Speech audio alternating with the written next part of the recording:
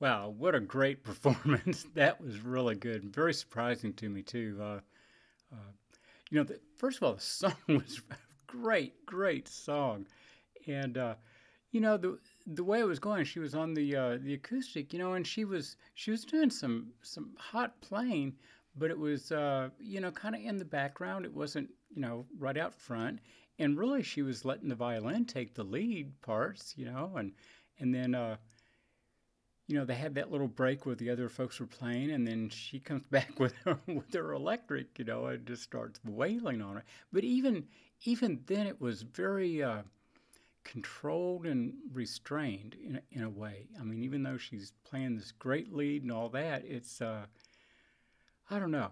She she's so she's so joyous in her playing, even when it doesn't seem like it. She still is. She really likes what she's doing, and and uh, does such a great job. But yeah, that was something very different. Very different. That was good.